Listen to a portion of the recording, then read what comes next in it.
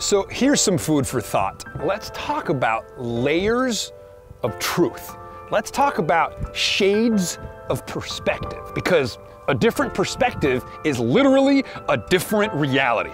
So here's a quote by Christopher Uhl. He reminds us that while gazing up at the night sky, one in fact hangs off a planet and near the edge of a galaxy, vertiginous, suspended over the infinity of space. At any given moment of our lives, as we muck about a flutter, concerned with the trivialities of everydayness, as we tranquilize ourselves with trivialities, we in fact are living in a different truth than when we step back, zoom out, take the long view, expand our minds and consciousnesses and perception, and realize that we in fact hang over a planet suspended in space, spinning around at a very fast speed at any given moment.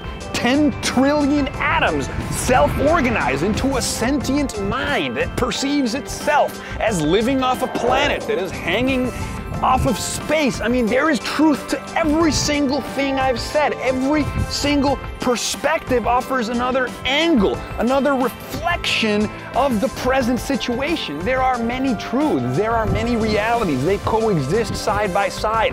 And I think the role of the artist is to, to visit those realities, to transcend baseline ordinary consciousness, to change our perspectives, to bring back souvenirs for the rest of us to consume. Art gives us a glimpse of the other.